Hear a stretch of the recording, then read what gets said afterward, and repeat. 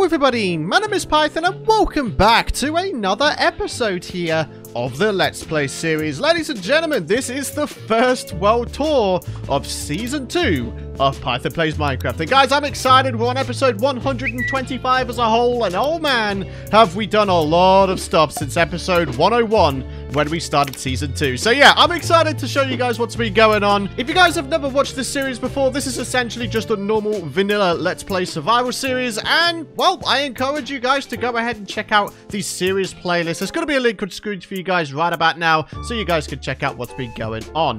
But uh, yeah, we're on Season 2, we're on the first world tour of Season 2, and guys, there is a map download from the point of the beginning of this episode. So go ahead and check out the description down below. There's going to be links for you guys there, and any questions you may have will almost certainly be answered in the description. So, I'm excited, guys. I really, really am. If you guys are excited for this world tour and for more episodes of Python Plays Minecraft to come, then do be sure to drop a like rating, my friends. That would be absolutely fantastic. So, without further ado, we are going to go ahead and get straight on into this thing. Starting off with the episode 101 house, or episode 1 house of season 2. Here it is, Python's Humble Home. The first build in our major build project here called Flora City. Now, some of you older subscribers may know where that reference comes from, but for those of you guys unaware, uh, in the old days of this channel, well, I say old days, it was only a couple of years ago when it actually comes down to it, but I used to have a long-lasting Let's Play series called Python's World, and the first thing I ever built on there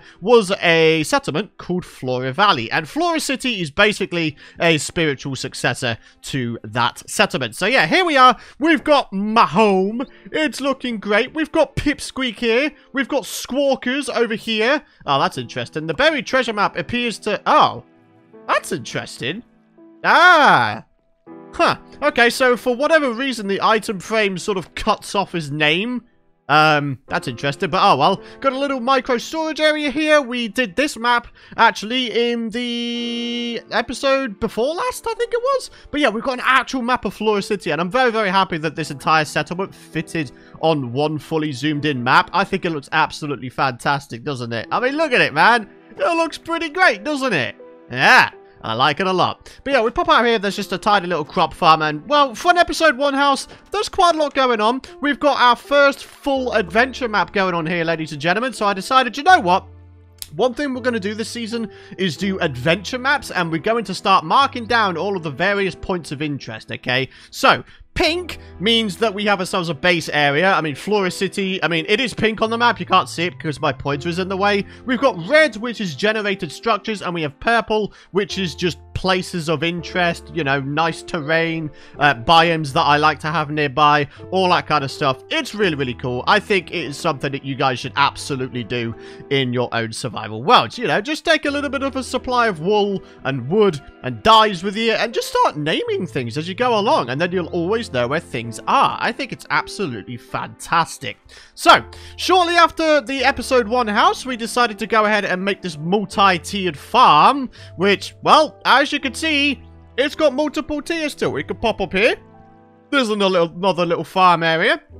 And right up the top there, ladies and gentlemen, is Wolverine. His name is Wolverine. Like, you can, I mean, you can just about see it through the water there. Yep, it's basically a mountain water sheep hybrid and Wolverine was a name that you guys came up with, actually, and I really, really enjoyed it. so that's what we went with, guys. So, moving on, I think what we'll do is we'll start off with basically this basin area first, and then maybe we'll check out the builds up top there uh, shortly after. But yeah, we pop up the other side, and we've actually got ourselves a little bit of a horse pen. We got this dude here with his majestic diamond bling-blang armor of epicness. Uh, basically, we just get on the horse, we open these things manually, and then behind us, the gates will automatically shut, which is pretty darn cool. Ah, yeah. Alright, so let's continue round, shall we? We have ourselves a house here. I mean, there was a butcher who roamed around here, but I've got absolutely no idea where he's even gone now. He might not even be alive anymore. Um, I don't know. But anyways, the intention of this place was for it to be a fishing hut. I mean, we, uh, you know, start popping through these. We've got ourselves a nice fishing rod there. We've got some various drops, you know, junk, treasure here. Very, very nice. And yeah, this is what made the villager into butchers. You know, that's that's that. Smokers. so yeah, moving on, guys. We have ourselves a beautiful little enchant room right here. I mean, it's a pretty standard design for little old me. Uh, so yeah, it's, it's just nice. We've got ourselves a bunch of decoration. We've got ourselves a whole bunch of, you know, just I don't know, decorative things. We've got a grindstone so we could disenchant. We've got ourselves this for decoration. We've got ourselves a gear chest, a lapis chest. It's pretty simple, isn't it? But it works really, really well. So, moving around, this is probably my favorite build out of this entire area. It's very simply a library, ladies and gentlemen. Now, as you can see, we've got pretty much, we've got bookshelves everywhere. We've got barrels all over the place, which have, like, various different books in them. So, in this one, for example, we would have efficiency books. Uh, unbreaking books would go in there. Uh, what else have we got going on? We've got protection books. Oh, there's actually one in there. Very nice. And then we've got, like, other things as well for bookshelves themselves. And basically, the idea was for us to get ourselves four librarian villagers with really, really nice enchants. So, for example, this guy is called the Protector because he sells super cheap protection for books, as well as looting three for a higher price, and then also mending, believe it or not. So, we've got the Super Sharp guy over here, as you can see, selling Sharpness 5 for 8 emeralds, which I don't think is too bad at all. And then, what's this guy? The Mighty Unbreakable, Unbreaking 3, Pretty standard, right? Also got Respiration 3 for a slightly higher price. And then moving on here, we've got ourselves Efficiency 5 for 1 Emerald, which is fantastic, as well as Feather Falling 4. So when it actually comes down to it, the set of villages we've got going on here is really quite amazing, isn't it? We can get ourselves some really nice tools from those guys really, really easily. Uh, but anyways, moving on. We've got our attic room up here. We've got some various bits and bobs going on. We've got like emerald storage. We've got mending books. What do we got? Looting books. Okay, kind of cool. Fortune books. Nice. Silk touch books. And then, yeah, there's just a few bits and bobs all over the place. Helmet books. Yeah, it makes sense, doesn't it? I like this. I can't wait to fill this up a little bit more as the series progresses. Because, you know, there's loads of different types of enchanted books in this game. And it'll just be nice to have them all nicely organized, you know? So, let's keep going, shall we? To the Smith area. Ah, yeah. I don't even know if there's any villagers here anymore. Uh, no. They've either all died or they've all escaped. And, well, probably died. Um, yeah. Ah, it's not a good state of affairs, is it? You know, I'm trying to do a world tour of everything that's, you know, been done, and we've just come across a whole bunch of dead villagers or villagers that have escaped. It's, it doesn't say much for me, does it? But yeah, Grindstone allows us to get ourselves a Toolsmith villager. Uh, what else have we got? We got ourselves a smithy here. I'm pretty sure this allows us to have a weapon. No, hang on. No, the Grindstone is the weaponsmith. The smithy is the toolsmith, and then finally the blast furnace is the armorer. So the three different types of smith villager, they would all be roaming around here and doing whatever they want. And obviously when they're finished with their day, they would just wind up inside of here. But unfortunately, they're all either missing or dead. So yeah. oh, it's so sad. All right, well, let's keep going, shall we? This, ladies and gentlemen, is another one of my favorite builds for this area. So we got the library as one of my favorite builds. This is one of my other favorite builds.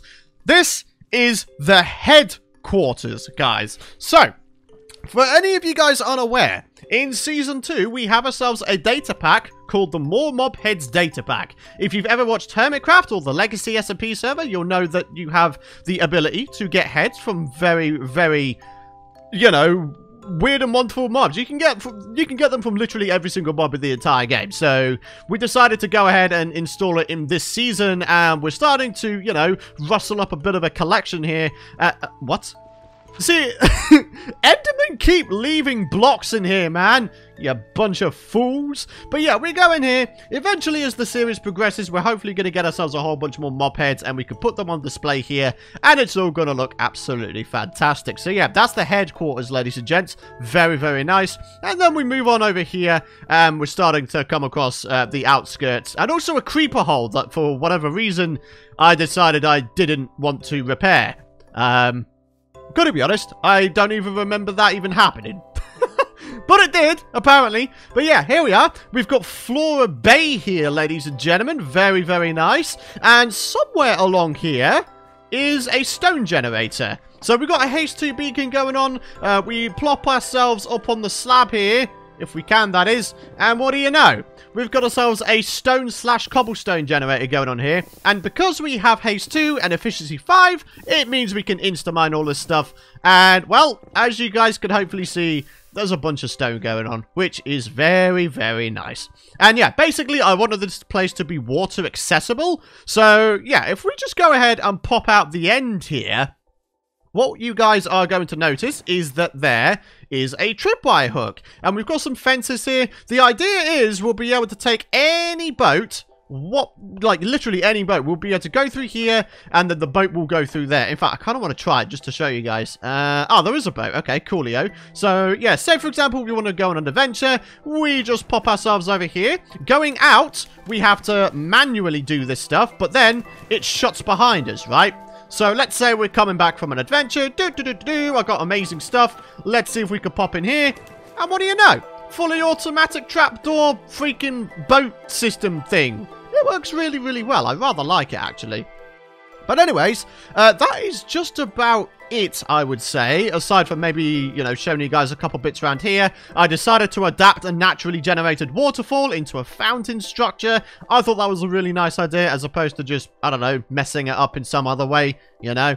And then finally, we do have ourselves a mine shaft down here, going down to diamond level, of course. Uh, so yeah, eventually I do want to go ahead and overhaul this a little bit, make it look a bit better. Uh, but as time goes on, we're just going to take all this stuff and and do stuff with it, you know? We're going to go ahead and finish a whole bunch of stuff, alright?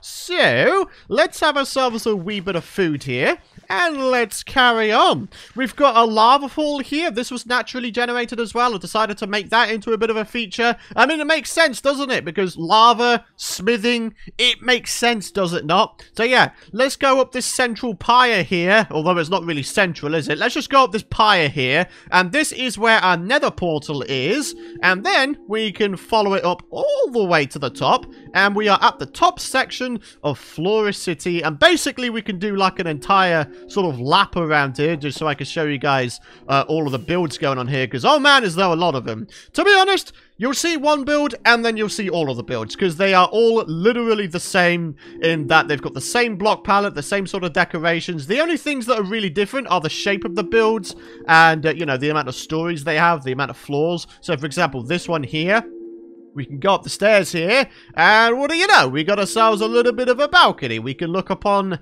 our dominion here, I mean, it looks good, doesn't it? I love the views that we have from around top of Flora City. Like, we've got the extended flower forest over there with apparently a lava pool. Uh, we've got ourselves a big old swamp over there. We've got uh, some sort of floating island over there. We've got mountains. I really like that mountain scape mountain range, whatever, mountain view. I think it looks really, really nice. And then, of course, we've got another mountain range just over here as well. And there's just loads of stuff, guys. There really, really is. Some of these builds even have attics to them. So, yep, Ah, there's just so much stuff, isn't there? I like it. We still have to go ahead and do the interiors of all of these builds. I only very recently got all of these builds finished, you know, the actual infrastructure and exteriors themselves. We got all of it done very, very recently. We didn't really have a chance to get the interiors done just yet, but we'll be able to get them done very, very soon. So, for example, this one has three floors. We can go out here, and what do you know? More epic views. You love to see it. I love to see it anyway.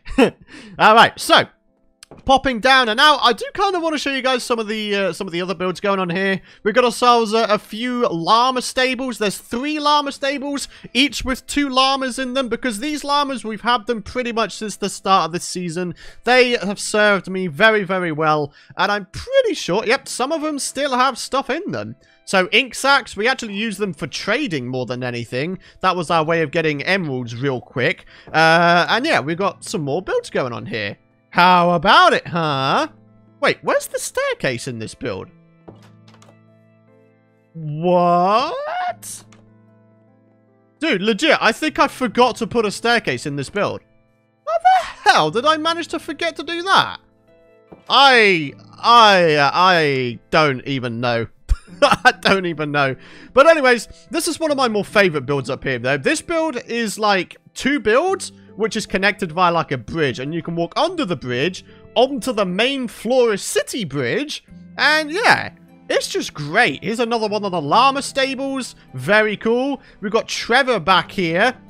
And Trevor basically contains all of our mapping stuffs, which I think is cool. Cartography table, there's the dyes. Obviously, we'd have a supply of wool in here, but we've just about run out of our supplies, so that's a thing. But uh, yeah, we've got a nice bridge going on here. I think it made sense, you know, to connect up the two sides. I just think it's nice, man. I really, really do. So let's just check out this building real quick. This was the first build we actually finished up here, but we didn't really do much with it. Again, no interior just yet. But we can go up here, up onto the second floor. And what do you know? We can get onto the top of this building here from here, which is great. I like it. I like it. So, yeah, we've only got access to the bottom from this door, but then we can get up to the top from this door. So, it's cool. I like it a lot. Oh, here we go. This is one of the builds I was on about. It's got three floors and then an attic. So, yeah, we've got a big old build going on here, guys. Look at it. So, this is the ground floor. We've got the first floor here. Uh, what? I didn't do that. Freaking Enderman, man. They keep dropping random dirt and grass blocks everywhere. Freaking jerks. Oh, wow. Okay, that's a good view. That is a good view, guys. I might actually use that for the thumbnail. That is such a cool view. That's like a proper little cityscape, isn't it? Dang, dude. That's gotta be my favorite. Like, legit. I like it. Alright, well, let's go up to the third floor here. There is, in fact, another balcony here with an another amazing view. It looks pretty good, doesn't it? Oh, it's fantastic. I do love it so. And then, if we wanted even more space, then what do you know? We've got ourselves an attic as well. So, yeah, this house has got lots of things that we could put inside it. There's lots of space to work with, and it's just great. I love it very much. But anyways, Let's just continue on with the lap around here. We've got like a nice little nature area here. I was kind of thinking maybe I could put like a pond or something. Maybe some chairs. You know, make it into a full-on nature area. A tiny little park for our residents. Well, eventual residents, should I say. Uh, but yeah, anyways, continuing on. More houses. We're not going to look in all of the houses because, like I say, you see one of them, you see all of them. They're all pretty much the same. Uh, okay. Right, so the, clearly there's a drown somewhere, but I don't know where. Uh, so, yeah. It's just great. I love this place. I really, really do. There is something to be said about, you know, things being a little bit boring and repetitive, doing things with the same block palette over and over. But if you want a nice, cohesive looking settlement, you're gonna want to use the same block palette over and over. So, yeah. And there's the third and final uh, llama stable. So, yeah, that's that.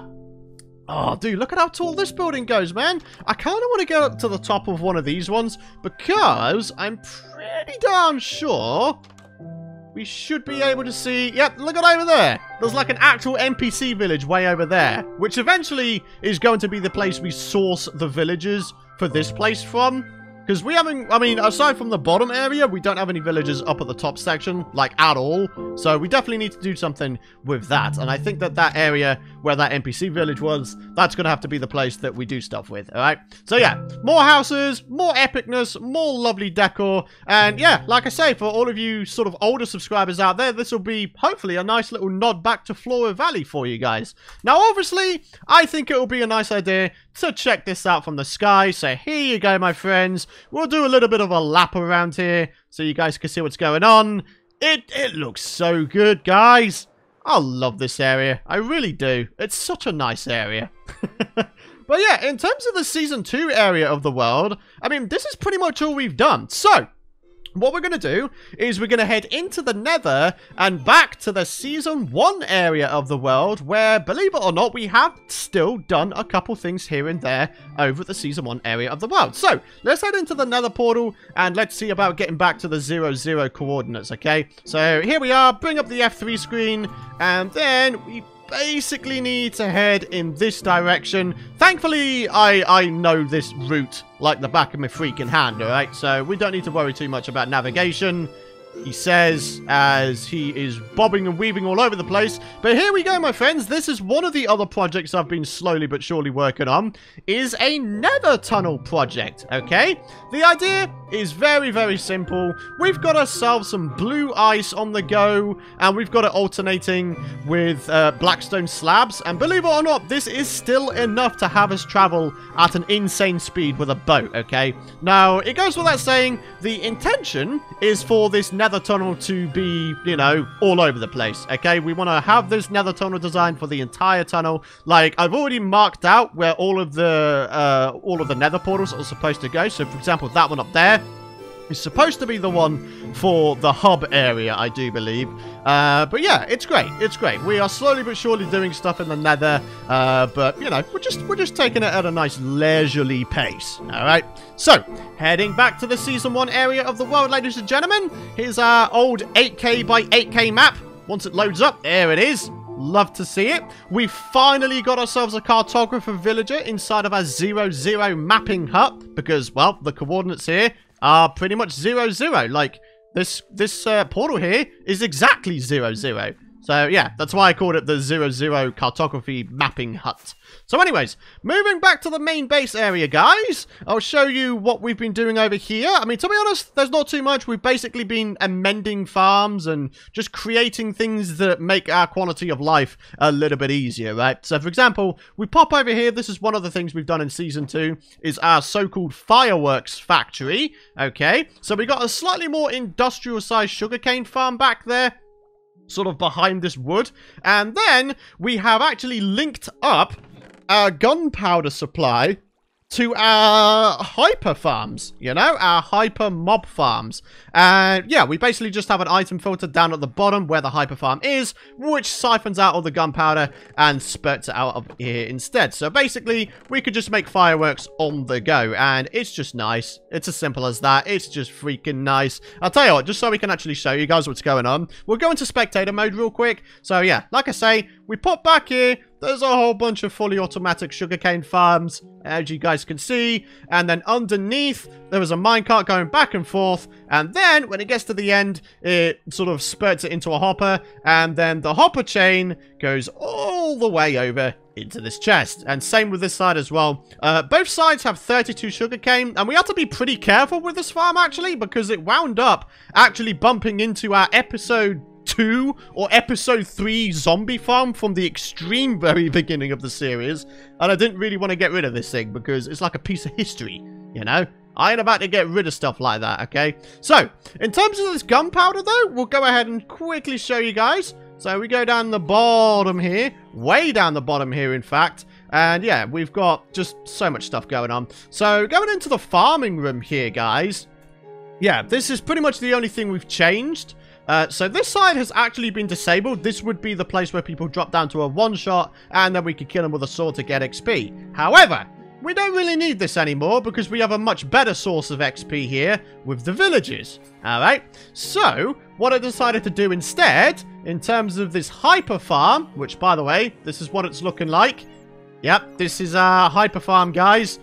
Yeah, it's kind of crazy, isn't it? And then you look around the place, like, you can see just how much time I've put into going ahead and lighting up the surrounding area. And as a result, this really is a hyper farm. This thing just spawns mobs like nobody's business. It is crazy. But whatever the case is, they will drop down this side. The only people who will ever survive this drop are people with armor, and everybody else will pretty much just die. And then, we've got ourselves a little lever here. So, when the lever is pushed back, we start to get drops in the chest like that. And when the lever is pulled, the items get burned inside of a lava source. So we don't wind up getting absolutely overrun with resources. However, all the while, while that's happening, there is an item filter, okay? So, the gunpowder is always siphoned out, and it is put inside of this dropper here and dispensed up the item streams and whatnots. So, yeah, it's good. It's good. I really, really like this. So for those of you guys interested, if you really want to know, the amount of resources we actually have going on here is kind of insane, okay? So let's just pop over here. We've got loads of gunpowder here as well. Gun, uh, rotten flesh, pretty much full. We've got loads of arrows. We've got loads of bones. We don't have to worry about it, okay? I am honestly to the point in this world where I'm starting to just throw away excess resources because, I don't know, things just get kind of crazy. But yeah, anyways, guys, believe it or not, that is just about it for what we have done since episode 101 in the season 2 areas of the world, and also a little bit in this area of the world, right? So, yeah, I mean, going forward, now that we've basically finished Flora City, we're going to start getting back to a whole bunch of our OG projects from Season 1. You know, Blackstone Manor here is definitely something I want to start working on again. We're going to need to set up some sort of industrial-sized bartering farm to get a bunch of Blackstone, because that is probably going to be one of the best ways we get Blackstone in this series, because, yeah, you can get them from bartering now, and it's great. I like it very much. So, anyways, guys, that will just about wrap it up for today's little mini world tour episode. As I've mentioned before, every 25 episodes, so 25, 50, and 75, will only be mini world tours showcasing the stuffs we've done since the last world tour. However, every 100 episodes, so episode 100, episode 200, those will be the complete world tours, where the video length is probably going to go well into the hour mark or whatever. I don't know, man. It just gets crazy after a while, doesn't it? so yeah, guys, I'm very, very excited to be, uh, you know, back in the Season 1 area of the world and starting to work on this stuff again. So, let's do the comment of the day, of course, and yeah, we'll end off today's episode. So, PE Gamer Afan says, Python has played many seasons, but that hello, everybody! Tune has never changed. Yeah, man. Yeah, it's it's honestly never changed. I mean, sometimes I go through phases where I try out different intros, but at the end of the day, I always just wind up gravitating back to the hello, everybody, that day. And it's kind of funny as well, like, if I had a penny for every time I've had that intro compared to Stampy's, I would be one rich guy. I wouldn't need to do YouTube anymore. I would never need to work a day again in my entire life. I would be so rich. And it's kind of funny when I think about it because I am absolutely convinced that I have had that intro longer than Stampy has had his. Okay? Just because someone's got a lot more subs and, a, and is a lot more popular, it doesn't mean that they were the first to come up with things, okay? I am pretty darn sure I have had the hello everyone intro longer than most people have, okay? So yeah. And it's the same with my Python skin as well. The amount of people who compare my skin to Preston, again, I am absolutely convinced I've had this skin longer. So yeah, just because someone's got more subs doesn't mean that they made something theirs. You know, maybe they got inspiration from someone else. You ever thought about that? uh, I kid though, my friends. I kid. So, that is going to wrap it up, guys. Thank you very much for watching. If you guys have enjoyed today's little mini world tour episode and you're excited for more episodes to come, do be sure, of course, to drop a like rating. I'd very much appreciate it. Hit the subscribe button and don't forget to ding that bell so you guys don't miss out on my future Minecraft videos. And yeah, that's going to wrap it up, guys. Go ahead, check out this world for yourself in the description down below with the world download. But for now, guys, have a great rest of your day. Thank you so much for watching, and I will see you guys in the next episode.